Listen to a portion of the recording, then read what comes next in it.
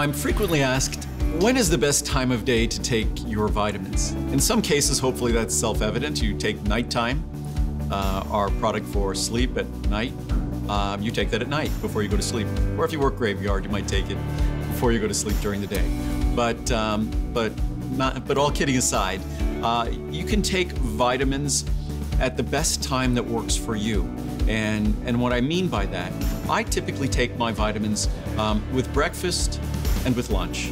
Uh, that for me turns out to be the best time. Some I'll take later in the day, uh, but for me, first of all, many nutrients are best absorbed uh, in the presence of food. In fact, most nutrients are best absorbed in the presence of food. If you think about how our digestive system works, our digestive system is actually stimulated to absorb vitamins and minerals when in the presence of food. Why?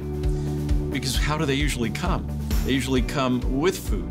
So we want to sort of prime our digestive system for the absorption of these nutrients. So they're best taken with food. Many companies tell you to take that because their vitamin tablets are so difficult to digest and difficult to absorb and so hard on the stomach that you want to take it with an abundant amount of food in the stomach. Not the case of mine.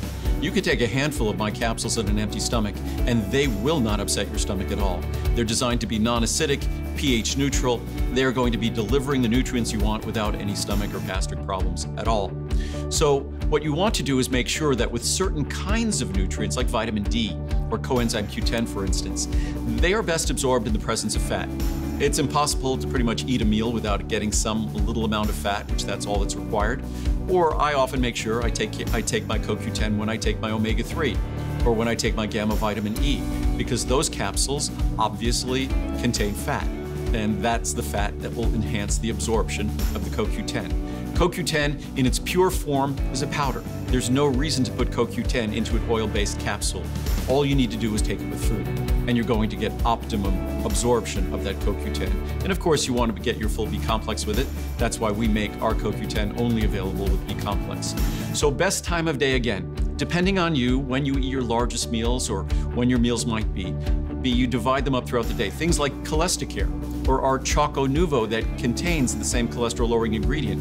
You obviously take that with meals because it blocks cholesterol absorption. It also blocks bile reabsorption, which in turn lowers cholesterol as well. So again, most of the things are pretty common sense. Uh, I say take our Fibromucil, best taken with meals because it also enhances the activity of Cholecticare or Choco Nuvo in lowering cholesterol. On its own, it helps to lower cholesterol, and taking it with food, fiber is what comes with food normally if you eat a healthy diet. Unfortunately, most of us as Americans don't eat foods and diets terribly rich in fiber, so it enhances the otherwise absent fiber from our diet. So it's always good to get one to three capsules of Fibromucil with a meal. So as you go down the list, multivitamins always best to be taken with your largest meal of the day. It's pretty easy to figure it out. I'm thinking in my head of the different, whether it's Essential 1 or Omega-3s or CoQ10, uh, nighttime take at night. Um, certain products, if you're taking valerian to relax you during the day, you could take that on, a, on an empty stomach. They're all pretty much self-evident. Are there multivitamins or nutrients or ingredients that conflict with one another if you take them together? Not at all.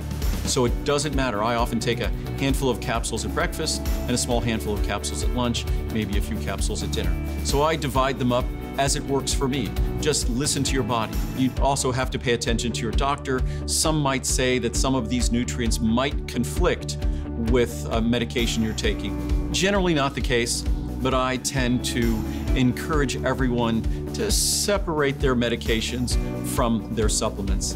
Notwithstanding the fact that my supplements are all nutrients and food-based, we don't make any um, supplements masquerading as drugs or with drug claims, but I still like to separate them by a little bit. So that's the, and in terms of Cholecticare Choco Nuvo, of course, take it within an hour of starting your meal or taking it within an hour or so of finishing your meal because it will still be in your stomach. Um, and that's, I think, the, a basic thumbnail sketch of when to take your vitamins, but there's no hard and fast rule. As I say, the most important thing is to listen to your body. And if there was a specific caution or instruction or recommendation that you had to take it away from something, you would be reading it on the label under the suggested use. I would make sure, because I also write those labels, I would make sure it was written on the label.